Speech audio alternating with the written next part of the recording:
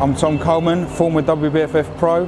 Been competing now for three years. I've done several different federations. Not bragging, I've, I've placed top three and everything. I've won a few.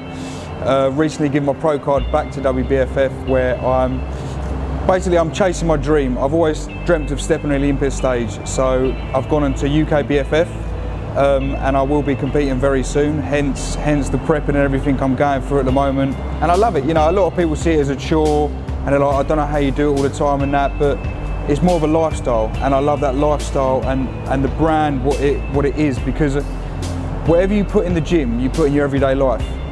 And you know, if you're willing to work hard in the gym, you work hard in life. I mean, I still work. I still, I've got a roofing company.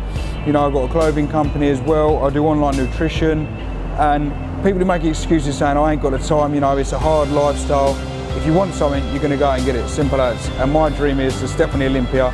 Like I said, I've given my pro card back. I'm going back to square one, and I will be aiming to do UK BFF and go beyond that to Olympia, hopefully.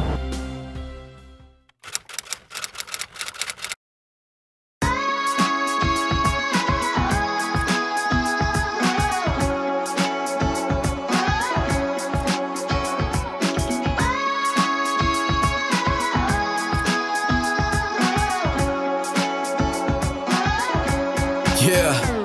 I ain't here for the money, though I'm about to make a change. Freedom for the ones who never gotta say, Yeah, I did it all for you, and you can see it's coming true. On the pursuit, rocking the same shoes. Every second in session is an incredible blessing. Too many ladies undressing, I got no time to be messing around. Ain't dreaming, ain't dreaming, I'm awake. Hard to stay real when they glamorize fake.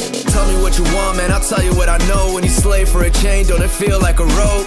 Yeah, feeling good, living better. Weather feeling cold, let my word be a sweat. As a young child, I've looked at all the other bodybuilders and stuff, and the Olympia stage is the one. It's, you know, it's the IFBB Pro. It's that.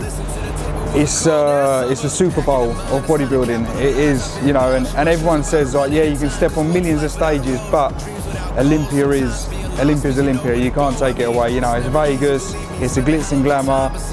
Arnie's been there, everyone's been there, all the top names, Phil Heath, the lot. Even Ryan Terry, who's been amazing, uh, a fellow USN teammate, managed to step on Olympia. And like he said, it's, it's not so much about where you place, it's the self-achievement. To step on Olympia stage and go, when you're in your 50s or your 60s or whatever, when you're older to your kids and your grandkids, look at what I achieved, look at the picture, I'm on the Olympia stage.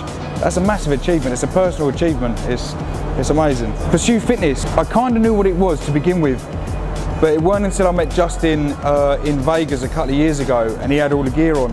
And I was like, what is this? I, I checked it out, I tried it on, and the quality was good. This year I managed to walk around Body Power and, and I went over to the team at Pursue and I tried on a few of their stuff and I'm a strong believer in promoting a brand or, or anything that you believe in.